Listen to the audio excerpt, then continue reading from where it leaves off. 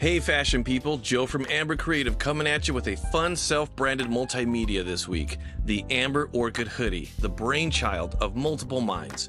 Here's creative director Jeremy Picker with more on self branding awareness.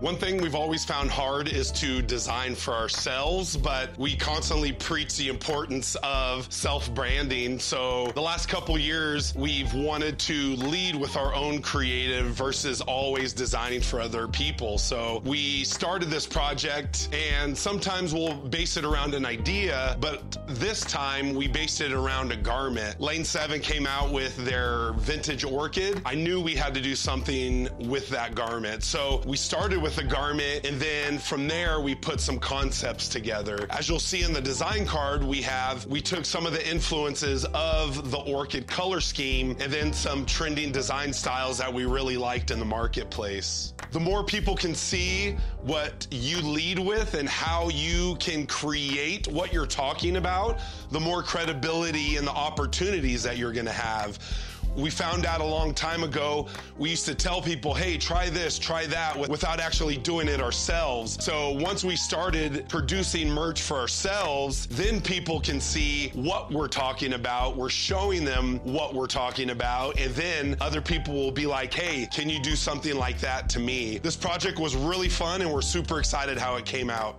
Thanks, Jeremy. We can start the assembly process with each small puzzle piece of inspiration. Lane 7 produced a unique pigment dyed color in this case and offered it with one of our favorite hoodies. Since graphic design is a big part of our project scope, we wanted to create an attitude based theme portraying our design vision and how we saw our brand worn in a retail setting. Let's see if art director Angelo Montiel can help us learn more about this process. So I went uh, around the retail market and kind of looked at pieces and see what other brands are doing with, with that same type of style. I found some some really cool sprays, marker, graffiti style, and all kinds of graphic elements that I wanted to use for our own design. From there, I went to Sketch or iPad in this case I started doing a bunch of little drawings and kind of playing with layouts and, and different techniques. I even did some some hand uh, painting and sketching and then scanned it at, at a high resolution. It brought it into Photoshop to kind of play around. Uh, therefore, having this mix of digital and analog, and that's kind of what I live for. Just the mixture of different elements.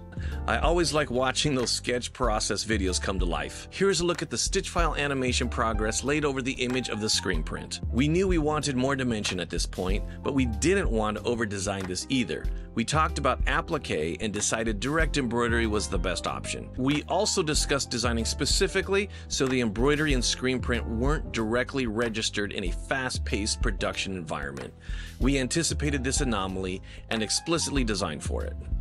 As an embroidery and design expert, I helped the team with several options displaying embroidery techniques and texture. We used multiple pass whip stitches and chunky bean stitches to help outline and accent several elements of this design. We wanted the design to look vintage and handmade, but also modern and cutting edge. Our preferred screen print ink formula comprises a plastisol mixture of clear Chino base with black ink for the dark tonal and white ink for the light tonal. We do this to keep the hand soft while maintaining a slight tonal hue the garment color provides. Lastly, our featured oversized HD woven neck labels are hand sewn on all four sides with an added folded woven size label at the bottom. Private labeling is one of the best ways to establish and maintain your branding equity. Please hit like and subscribe to help support the channel. Have a great rest of your day and fashion to the people.